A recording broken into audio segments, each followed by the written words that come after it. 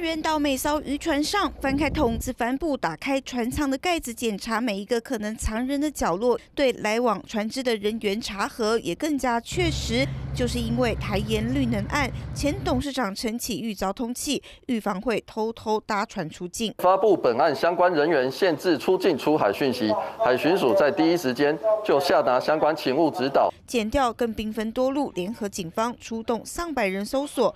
陈启玉位于高雄旗山老家，虽然门口还有停车，早已人去楼空。台盐绿能光电弊案，十月二十三号，检方声押进见前董座陈启玉等五人，地院裁定驳回检方提抗告。十一月一号重开羁押庭，台律总经理苏坤煌。鸿辉公司负责人被羁押禁见，另两人请回。陈启玉始终未现身。十月三十一号，检方请求如期开庭，遇台风天延期，又缺科技监控，恐造成逃脱空窗期。本案被告陈启玉无正当理由无故不到庭，本院以电子公文嘱托桥头地方法院检察署代为拘提中。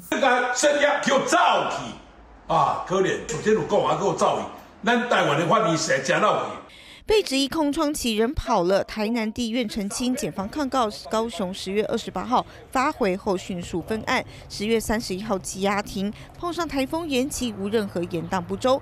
除了院检攻防被关注，现在最重要就是赶快把人给找出来。三讯网少古不先台南报道。